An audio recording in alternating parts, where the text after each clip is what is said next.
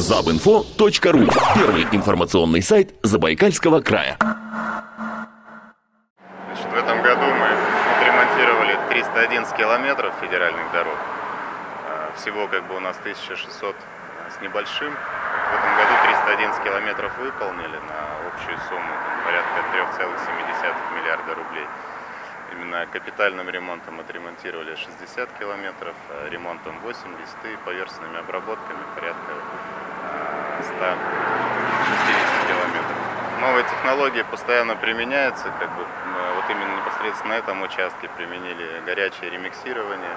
А, Естественно, везде уже сейчас перешли на щебеночно-мастичный асфальтобетон, а, который очень для нашего, как говорится, климата, для нашей первой климатической зоны подходит лучше всего, потому что а, сам затягивает трещины непосредственно летом. В следующем году э, планируем продолжать работу, то есть Планируем уже отремонтировать порядка 370 километров. То есть и по капитальному ремонту будет увеличение в полтора раза. То есть это уже будет, э, значит, по ремонтам будет увеличение, по версиям обработок э, будет наоборот уменьшение. То есть общая сумма тоже составит там порядка 5,5 миллиардов. В настоящее время мы оцениваем ровность отремонтированного участка дороги.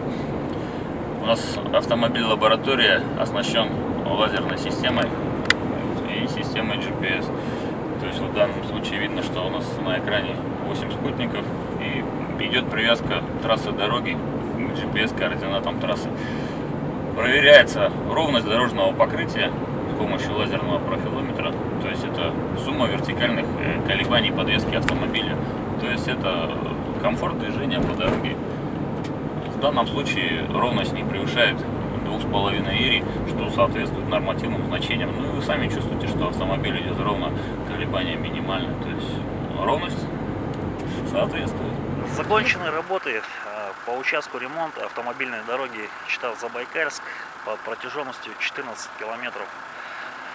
А На данном участке выполнены э, генподрядной организацией работы по восстановлению изношенных слоев покрытия. Здесь применялась технология термопрофилирования с добавлением нового материала. Эта технология нашла применение э, на дорогах федерального значения Забайкальского края с точки зрения то есть, э, обоснования экономического менее затратное, а так как мы используем существующие материалы дорожного полотна. Также был выполнен комплекс работ по обустройству дороги, установлено и заменено э, порядка 2000 погонных метров барьерного ограждения. Установлены дорожные знаки, сигнальные столбики, отремонтированные заездные карманы и посадочные площадки на автобусных остановках.